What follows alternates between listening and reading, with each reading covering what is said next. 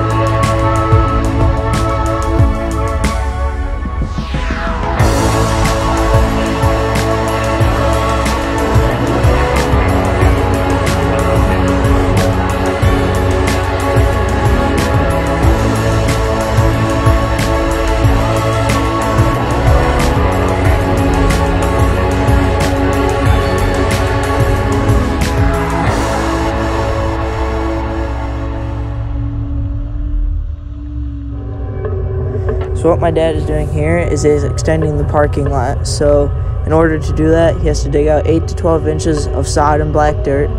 Then he has to take the stone and fill it up to the level of the parking lot.